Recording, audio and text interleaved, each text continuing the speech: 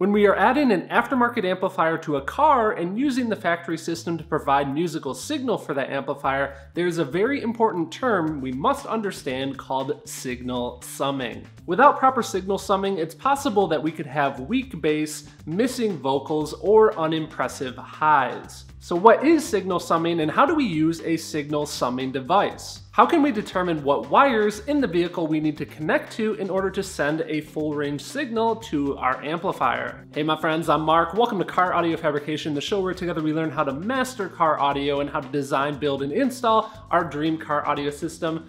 Let's get in to some signal summing. To get started, first off, what the heck is signal summing? Well, that's simple enough. It's adding some of the different speaker level signals from our factory amplifier together. I think the better question though is why would you want to sum these speaker level signals together? To answer this question, we're going to use the Car Audio Fabrication Integration Test Center. And just so you guys understand what this is, if you haven't seen it before, this is a factory premium system pulled out of a car. It has the factory head unit, it has a factory amplifier, and I've wired each of the outputs from this amplifier down to these connections here. Many times with factory premium amplifiers, since we have multiple different speakers in the vehicle in multiple different locations, it's obviously gonna split up those different signals. In the case of this amplifier, we have a left and right tweeter, which the tweeter speaker plays our high frequencies.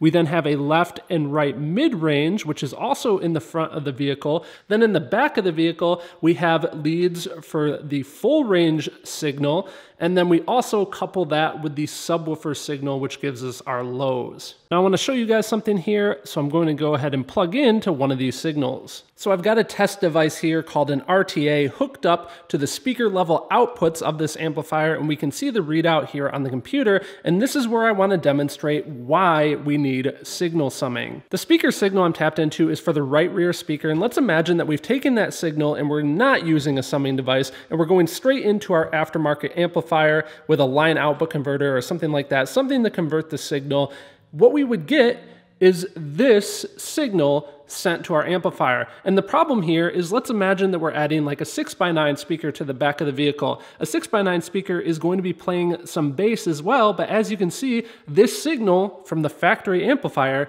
it really rolls off the bass starting at like 200 hertz. It doesn't have a whole lot of bass response. The reason for signal summing and needing something like this is so that we can add that signal to the next signal I'm gonna show you. Now we're tapped into the separate subwoofer signal from our factory amplifier here, and you can see that this brings in our lows. So if we did wanna add something like a 6x9 speaker to the back of the vehicle, we not only want these lows, we want the mids and highs as well, everything added together. And that is why we need a summing device. Understand that adding 6x9s to the back of the vehicle, that's just an example. There are many different reasons why you would need a summing device, ultimately so that you have control of the full signal that is going to your aftermarket amplifier. So let's say you know that you have a factory premium system where you have multiple different speakers that are bandwidth limited, like tweeters and mid-range speakers, all broken out. You know that you need a summing device. The next question that I get all the time is, well, Mark, what what exact wires, like what color wires do I need to tap into on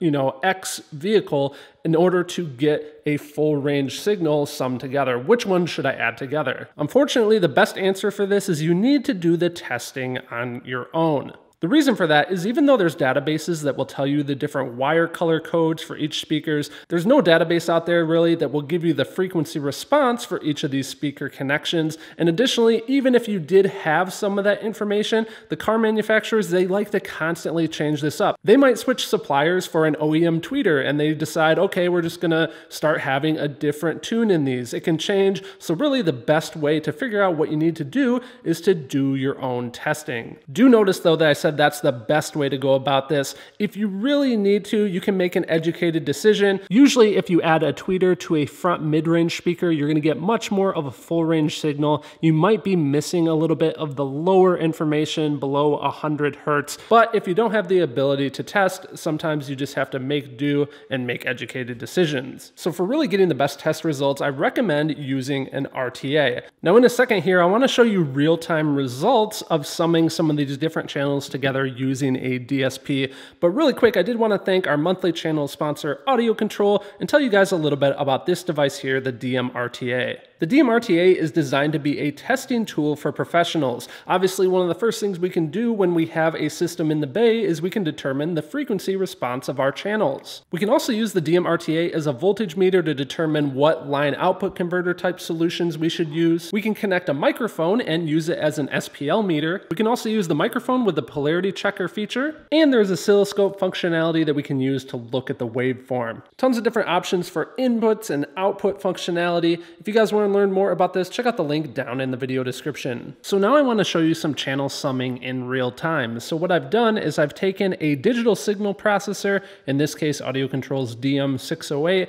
and I've wired into the speaker level signal from our factory premium amplifier. Right now, I've only connected to the rear speaker and the rear subwoofer channel as I was describing to you guys earlier, and I want to show you in the example of something like getting signal for a 6x9 speaker on our aftermarket amplifier. Now, if you don't know what a DSP is, this is basically a souped up, crazy version that gives us total control of the audio signal, a lot more control than something like a simple summing line output converter. And the reason I've connected this DSP is you can see right now I'm connected to it with the computer and I can see this signal analysis. In other words, I'm no longer using the DMRTA. This is a unique feature which is really cool about audio controls DSPs is they have the ability to look at the electrical signal that is coming into the DSP. So right now we're looking at the rear speaker and if I switch to inputs one and two, that's where I've connected the subwoofer signal.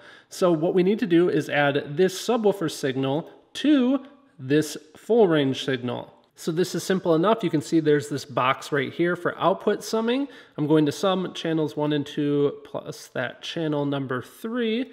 And if we look at our graph here now, you can see that I've now summed to a completely full range signal. I have all the mids and highs for our speaker, and I also have the nice low bass. Now we could of course use the digital signal processor to correct that equalization as well. If you guys want to see a video where I talk about DSPs, crossovers, equalizers, line output converters, how to determine which product you need to actually integrate with a vehicle, you guys can check out that link up in the corner of the screen. But now you have a better idea what signal summing is and why you would potentially need it for your car audio system. Don't forget to learn more about the DMRTA from Audio Control. Check it out at the link down in the video description. A special thanks to them for being a monthly channel sponsor, along with Lonnie, Ali, William, Marcos, Jerry, and the rest of the Patreon membership team. Big thanks to all those guys for making these videos possible, and thank you for watching.